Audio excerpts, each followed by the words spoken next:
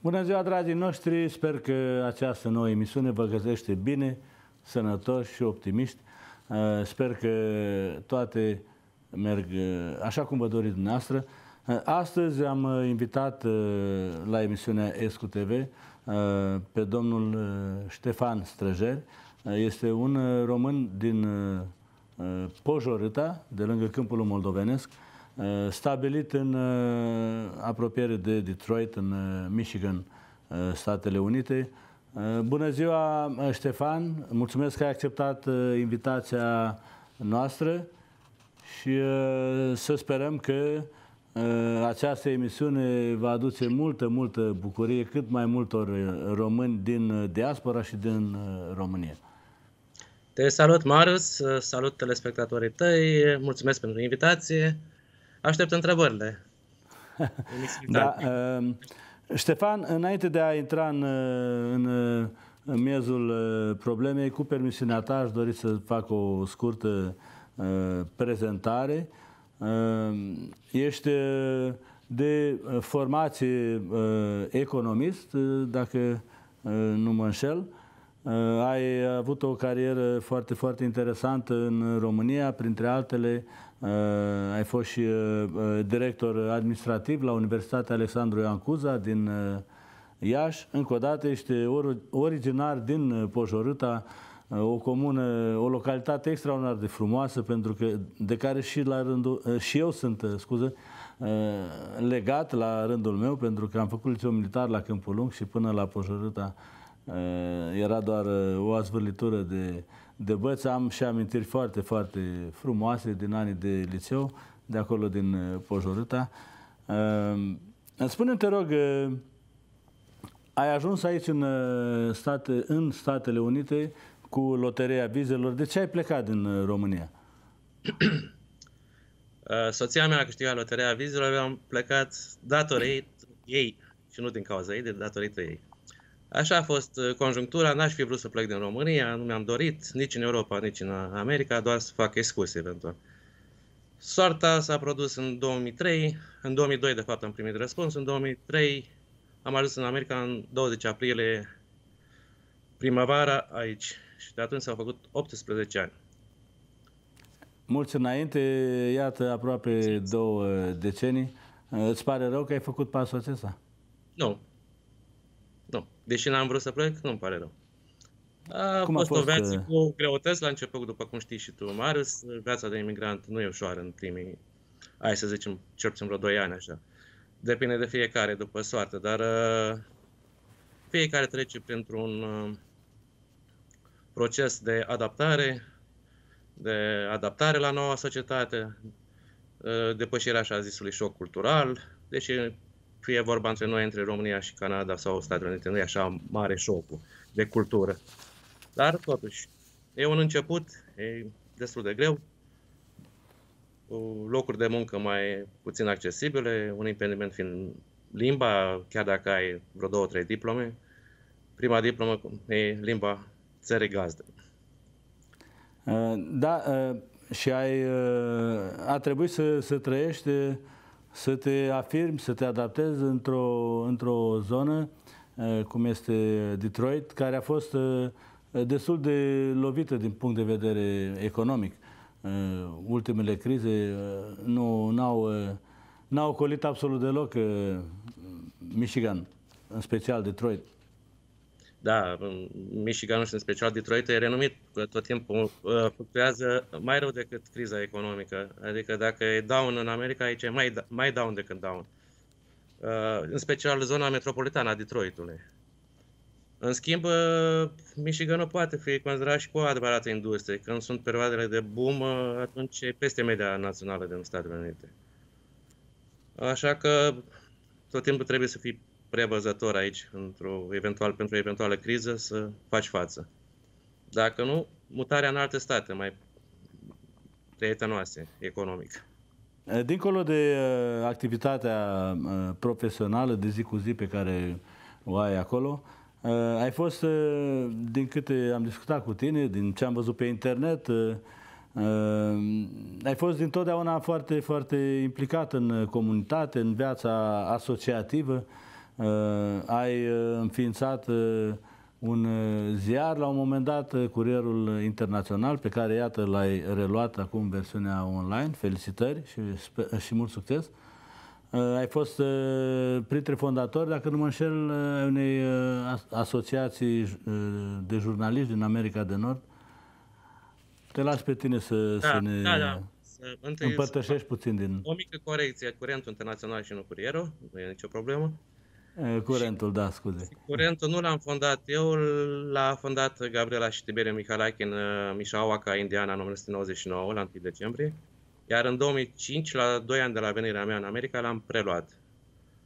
M-am aventurat într-o într-o junglă, oarecum într-o, într-un necunoscut, pentru că nu eram jurnalist de profesie, trebuie să specific asta, și eram cititor de ziare, cei drept, cititor de ziare de cultură până la sport și de toate, și apasionat, răit chiar, dar nu știam cum se face un ziar.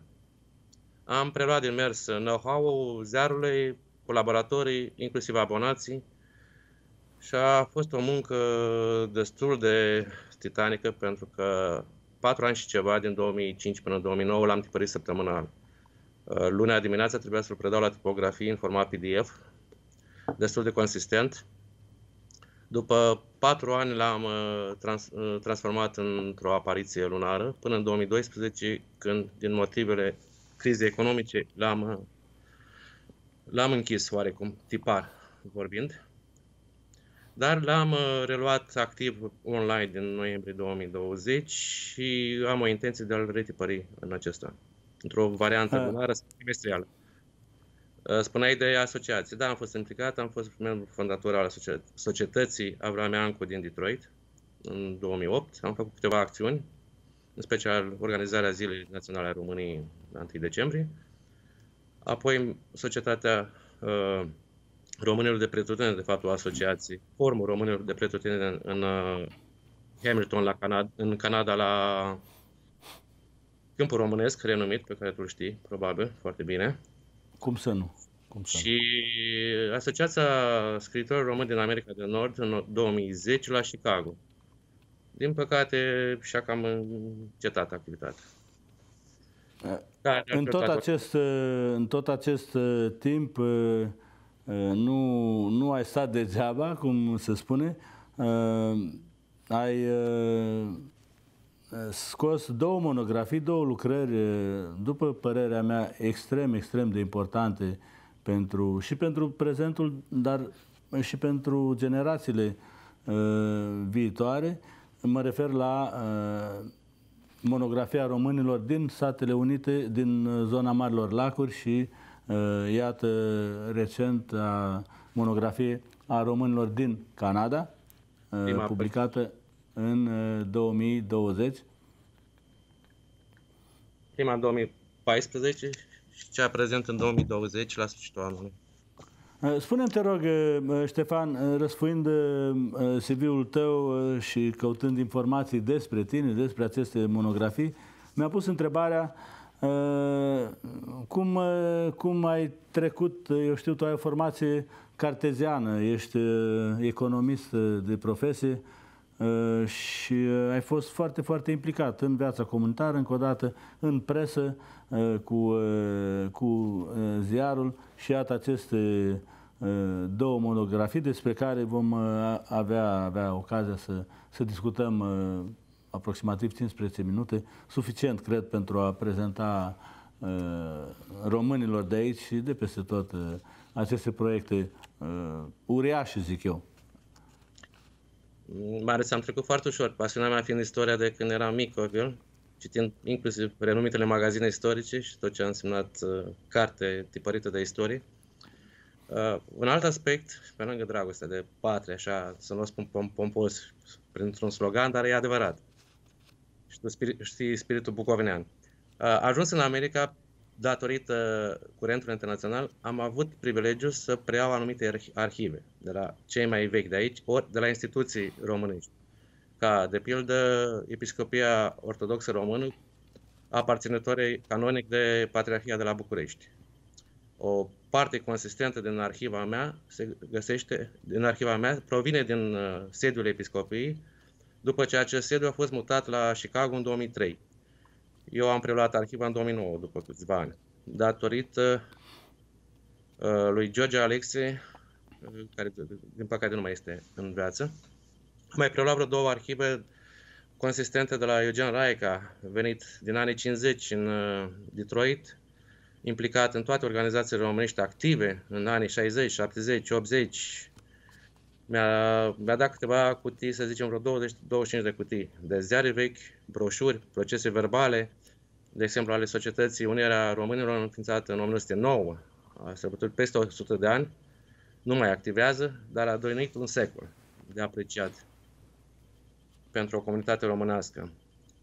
Și așa am ajuns la, poate la o datorie de a scrie cele două monografii. Cât de bune, cât ar mai putea fi completate, nu știu, rămâne la latitudinea uh, celor avizați, cititorilor. Uh, eu pot să ofer mai departe cercetare celor interesați, inclusiv istoricilor cu absolvenți de facultate sau doctorat. La mine biblioteca e deschisă, am peste 100 de cutii, cum am spus, am arhivă încă de exploatat. Ai ales uh, așadar uh, să, să redai uh, posterității și prezentului încă o dată aceste informații valoroase despre imigrația românească în America de Nord, în Statele Unite și în Canada. Cum spunem noi, în loc să în loc să uh, lași să se aștearnă praful uh, sau să fie uitate pe undeva prin sertare sau prin rafturi, uh, tu ai decis să dai viață acestor, acestor arhive. S-au aruncate la gunoi, în cazul cel mai nefericit. Au și fost, mai rău, da. Și mai sunt arhive care au dispărut. Adică mai sunt arhive potențial de a fi aruncate la gunoi. Și știu cazuri fac o paranteză, de exemplu, în Detroit există George Păslaru, la venerabil la vârstă de 97 de ani, fotograf de profesie, are o arhivă consistentă cu fotografii românească în peste șase decenii. A, în curând voi prelua și această arhivă. Doar cu poze. Fotografii ale comunității românești, de la manifestări, zilei naționale ale României sărbătorite la 10 mai, vechea sărbătoare națională, picnicuri românești, înființări, sfințiri de biserici și așa mai departe. Probabil voi face un album și din această arhivă într-un timp uh, relativ îndepărtat, pentru că timpul nu-mi permite prea curând. Uh, această monografie, începem cu uh, cea a românilor de la Marile Lacuri, zona în care ești tu. Vom continua cu cea canadiană. A însemnat pentru tine un volum imens de muncă, îmi imaginez. Povestește-ne puțin despre dificultățile, momentele dificile, că presupun că au fost și momente dificile, despre munca ta, ce, ce a însemnat uh, această monografie. Încă o dată, mie mi se pare o muncă titanică, uh, e ceva ce eu nu știu dacă aș fi reușit măcar să, să îndrăznesc să mă gândesc să, să, să încep. Știi cum e mare, să am început cu un început și a trebuit să tot lucrez, să adun informații, să adun informații. Ceea ce a fost dificil a fost timpul, confruntarea cu timpul disponibil. Uh, material am avut suficient, a trebuit să-l trăiesc, să-l organizez, să-l structurez, să-l fac anumite ordonări pe criterii cronologice sau alfabetice. Dacă am avut, de exemplu, capitolul cu personalități proeminente, să zicem, am apelat la criteriul alfabetic. La organizații sau presă românească a fost criteriul cronologic. Am găsit numai în Detroit 57 de publicații apărute timp de un secol. Dacă poți să-ți dai seama într-un stat, într-o comunitate românească uh, restrânsă din, din America de Nord. 57 de uh, publicații, uh, sunt 24 de biserici în total în, în zona metropolitană a Detroitului probabil comunitatea cu cele mai multe biserici din America de Nord, incluzând Canada, Statele Unite. Deci dificultatea a fost timpul.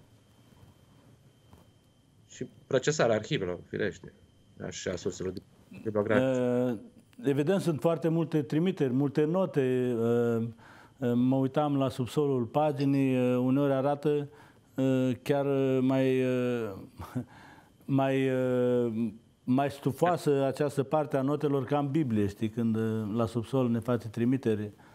Cineva spunea că poate scrie o carte doar din notele de subsol. O cărțulie mai mică.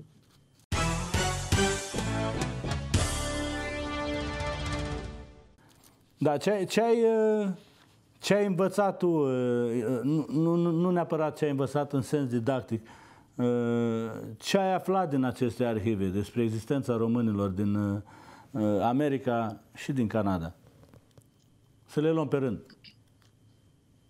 Ambele comunități se aseamănă. Să zicem, o notă distinctă face chiar Montrealul, zona în care locuiești tu. Știi foarte bine că e o altă poveste în Montreal. Dar, în schimb, celelalte comunități, atât din Canada cât și din America, se aseamnă oarecum. Au fost societăți care au dăinuit active cu numeroși membri, au fost societăți făcute doar din 2-3 membri care nu au făcut mai nimic aproape. Erau în Detroit, de exemplu, în, în perioada anilor interbelici, din anii 30 și 5, să zicem, 87 de societăți la un moment dat, dar active erau doar vreo 4 sau 5. Era o comunitate destul de dezvoltată în Detroit românească, erau străzi în care se vorbea românește, cu magazine, cu biserici, cu oamenii se întâlneau duminica după biserică la uh, magazine sau poate chiar la baruri după perioada prohibiției. Au fost oameni de străini, deși la origine au fost majoritatea, majoritatea țărani din Banat, uh, Transilvania și Bucovina, au credit biserici, au conviețuit în bună înțelegere, au mai fost și probleme, ca de obicei, între români, dar de care nu suferă numai românii, din câte am aflat. Sunt aceleași povești care, care sunt și în prezent, nu numai în trecut au fost.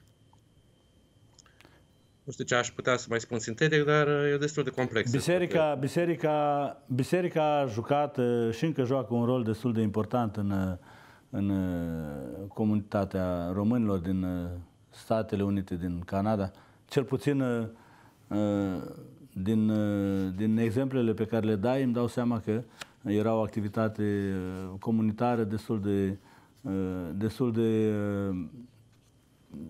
activă în jurul bisericii. Ah, păi și erau și școli românești, duminicale, plus acțiunile dedicate sărbătorilor atât naționale, dar cât și religioase, cum era Crăciunul, Paștele erau anumite formații artistice, erau o activitate destul de efervescentă în Detroit. Mai degrabă, o perioadă prin anii 60-70 a fost mai redusă până în anii 90, când a venit ultimul val de imigranți. fie cu loteria, fie prin alte căi.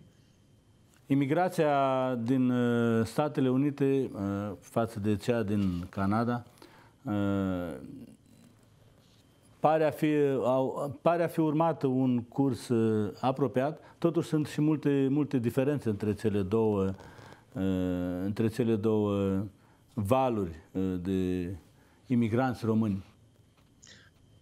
Da, sunt, sunt diferențe.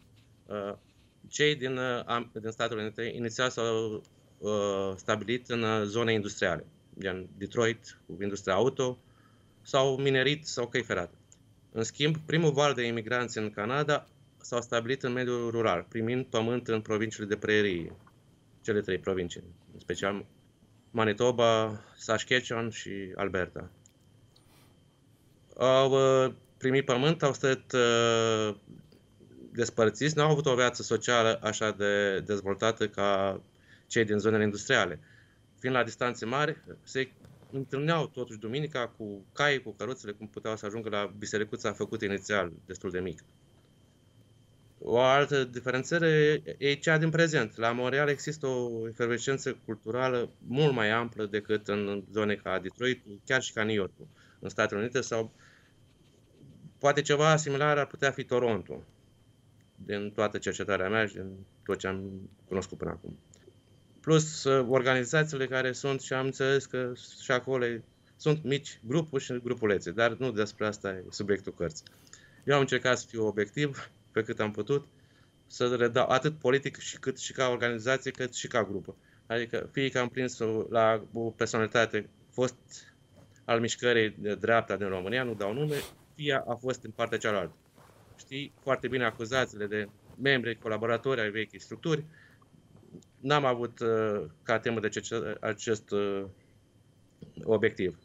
Sunt alți istorici, sunt alte păreri pe care tu le știi mai bine și monografia nu și are rostul de a-i uh, critica sau de a-i scoate în valoare prea mult.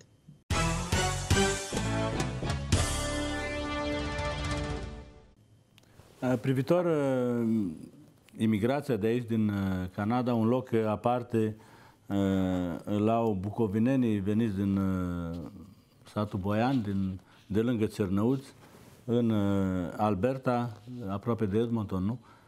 În da, da. satul Boian, despre care am avut plăcerea și onoarea, pot spune că mă simt onorat că am contribuit și noi, cum am putut cu un documentar despre uh, românii din Boian, Alberta. Da, din uh, Boian e cel mai cunoscut. Un alt nucleu a fost chiar uh, la, în Manitoba, la Leonard. Sunt similarități între cele două zone. La Boian au fost mai multe școli românești, la Leonard a fost o școală principală sau două districte școlare. Destul de asemănătoare sunt situații, dar Boian e cel mai renumit unde îl avem prieten comun pe domnul Les Lutic, curator la Muzeul Pionerului Român din Boian. Da, cum Mari, să nu, da. urmași de a treia generații, bunicii lui veniți în America, în, în Canada, pardon, tot cu America, în Canada, a, are o activitate foarte activă în cadrul comunității de la Edmonton, inclusiv la Boian, unde a rămas biserica, unde a rămas, s-a făcut muzeu, unde ar trebui să ajungă poate toți românii să facă o excursie și o o baie de istorie românească a primilor uh, imigranți. Cum spuneam, similaritatea este și cu, cea, cu comunitatea din uh, nord-vestul uh, uh, provinciei Manitoba, uh, Leonard, uh, unde există și acolo un muzeu, uh, Sfântul Ilie sau St. Helias. Uh, acolo sunt români din Voloca, tot din Bucovina de Nord. Foarte interesant, uh, chiar am avut o sursă bibliografică prin uh, cartea lui uh, Gian, oh, am lapsus acum, Gian Did, uh, unde uh, intitulat în, prin traducere în românească, banii nu cresc în copaci. Cred că e sugestiv. Da, foarte, foarte frumos încă o dată. Uh, cine încă nu a văzut Boianul din Alberta, le recomand cu mare, mare, mare căldură să meargă acolo pentru că Uh, Boianu are, după părerea mea, uh, o energie aparte, este uh, o experiență senzațională pe, pe care cred orice român de aici, din America de Nord, ar trebui să o trăiască.